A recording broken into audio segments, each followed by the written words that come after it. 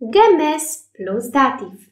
Gemes jest kolejnym przyimkiem, który łączy się z celownikiem. Gemes oznacza zgodnie z, zgodnie z przepisami, rozkazami czy też wolą.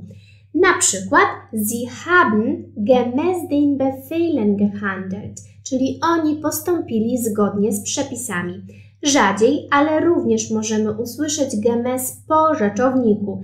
To zdanie brzmiałoby wtedy następująco: Sie haben den Befehlen gemäß gehandelt, co oznacza to samo, czyli oni postąpili zgodnie z przepisami.